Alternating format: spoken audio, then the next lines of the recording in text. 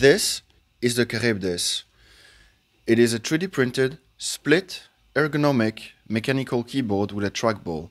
When I designed it, I had to do a lot of things from scratch, including designing the 3D model, getting help for the firmware, but also designing the sensor PCB. The sensor PCB looks like this, and it is one of the most important parts of the keyboard because it is this sensor PCB that reads the position of the trackball and then transfers it to the Elite C or Elite Pi or whatever board you are using.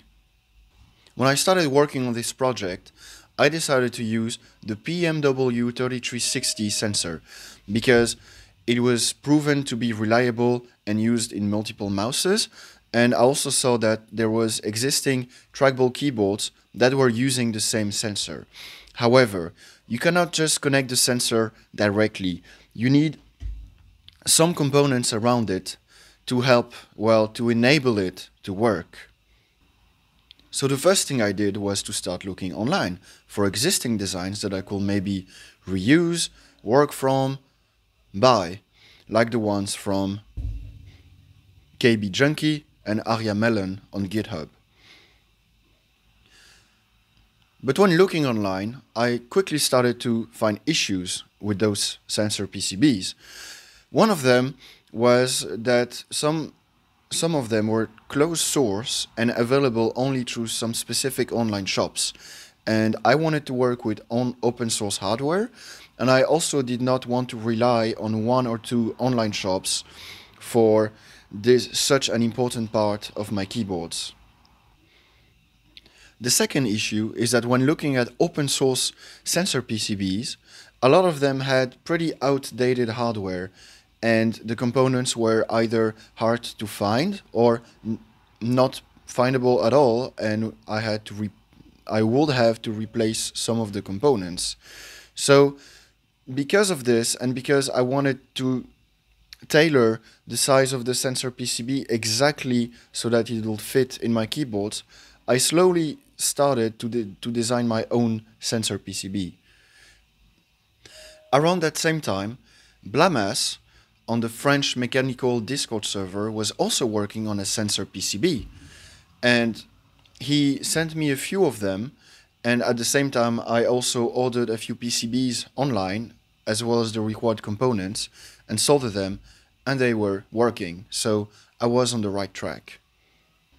So after receiving the PCBs, I started hand soldering some components on them to test if it works out.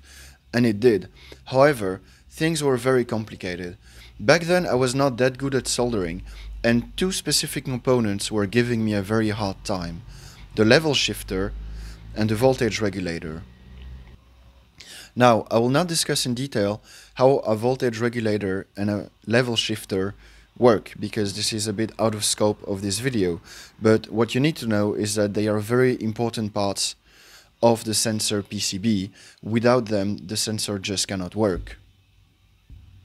The level shifter is a component that makes the translation between the Elite C or Splinky or whatever board you are using and the PMW3360 sensor because those two are using very different voltages and the level shifter is there to ensure that those two can talk together.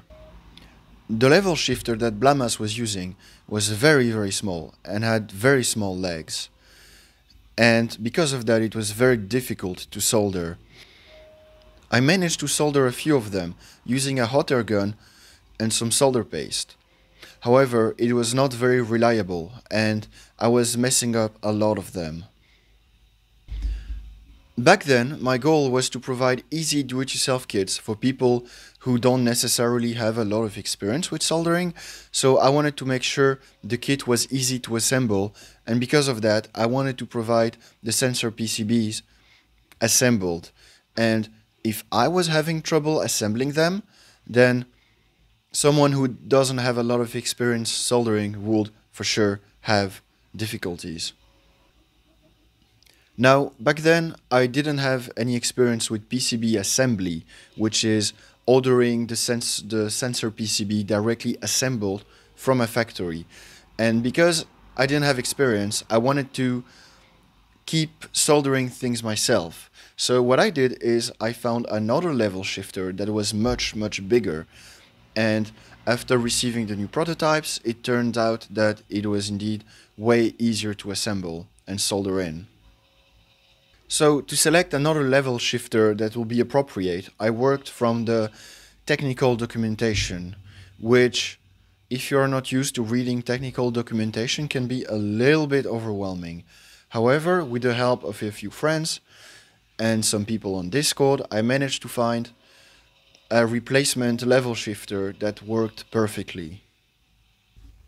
So, with those new components that were easy to hand solder, I started making multiple sensor PCBs just to install them in keyboards, check if they work, send them to testers.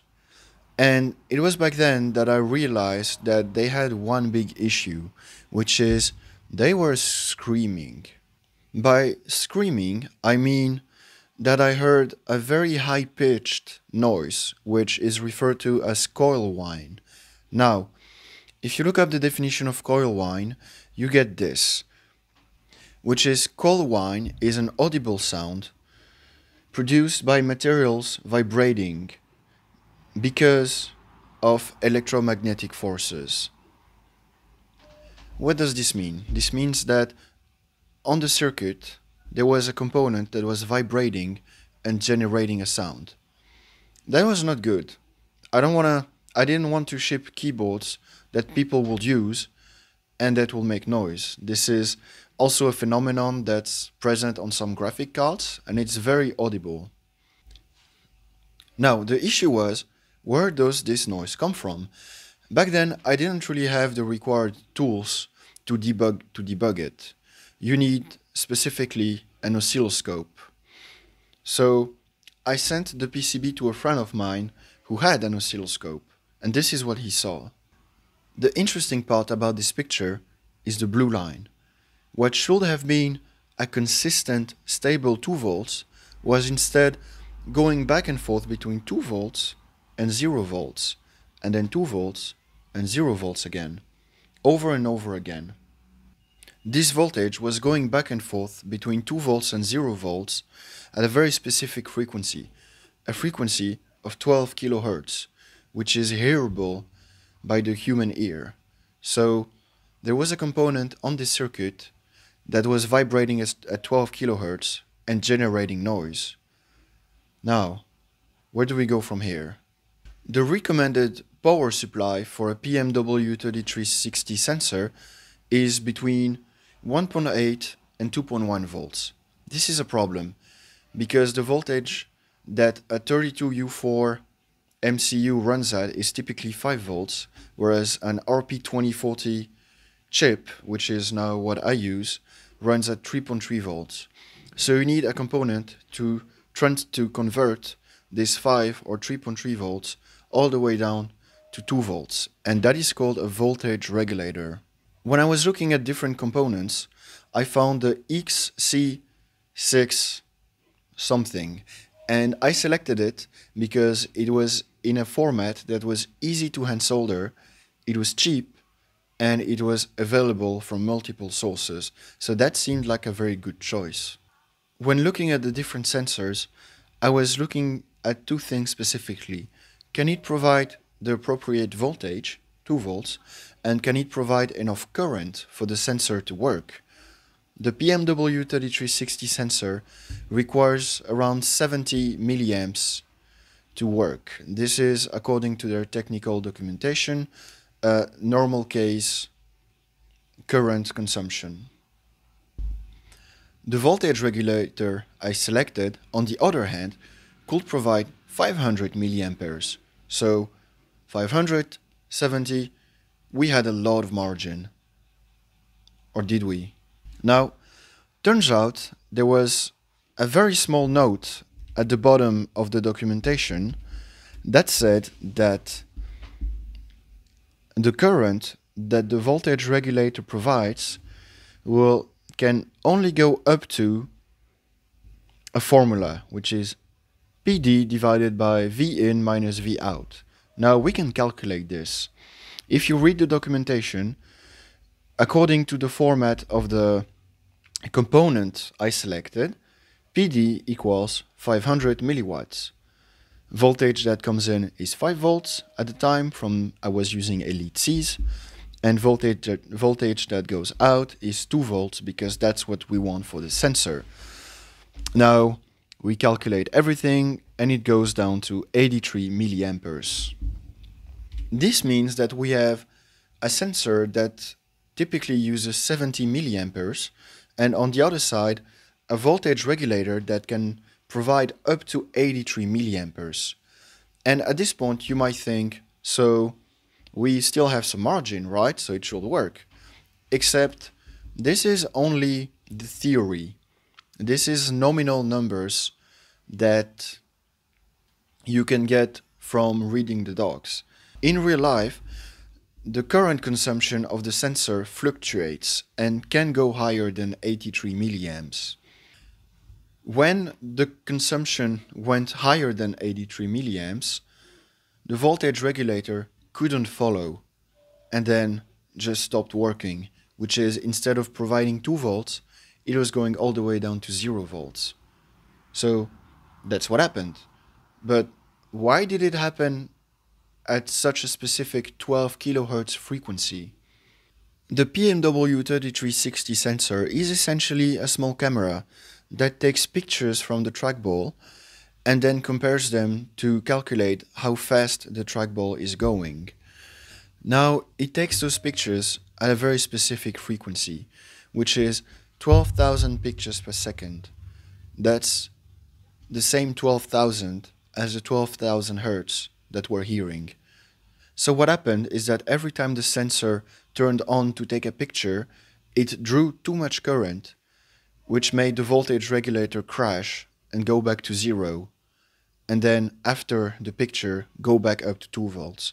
And this happened 12,000 times per second, so it generated a noise of 12,000 hertz. With this issue figured out, the fix was actually pretty simple. I just looked for another voltage regulator which could provide more current. And this time I was much more careful about checking the footnotes. With all this fixed, I had a functioning design that was cheap to order, use off-the-shelf components that I had a lot of stock on, and it was easy to solder. So when I started selling Charybdis keyboards, I was hand soldering all those sensor PCBs.